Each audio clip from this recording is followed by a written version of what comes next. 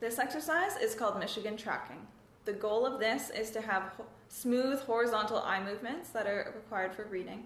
And it improves tracking, it also improves your peripheral vision and your visual span to spot the letter of interest.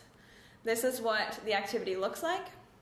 You start by tracking across the line and circling the first A that you see, and then you go across and you circle the first B that you see, and you continue on circling the C, and as you move through the alphabet, you want to get all the way to Z, and then you record the time that it took for you to do this exercise.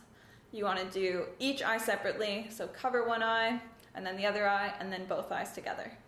So you start the Michigan tracking exercise by starting a stopwatch, and then you can track the first line of letters, and you want to circle the first A that you see, you go across and then you circle the first B and you keep going as you go down the alphabet with the C, D, E, and so on. This exercise is more difficult when you don't underline and you just circle and follow with your eyes as you go across, circling the next letters that you need to circle. As you move across, you will be able to notice that you finished at the end of the line with the Z and you record the time it took you to do this exercise. So this is Michigan tracking level two with the lens flipper. So it works on horizontal eye movements that are needed for reading and it also adds some focus flexibility that you need to focus through the plus and minus lens with the lens flipper.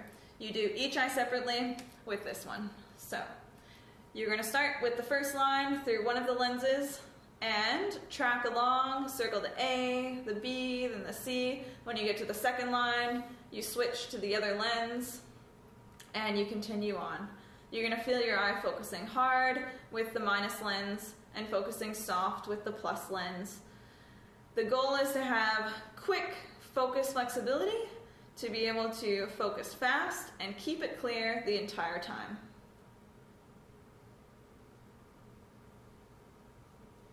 Perfect.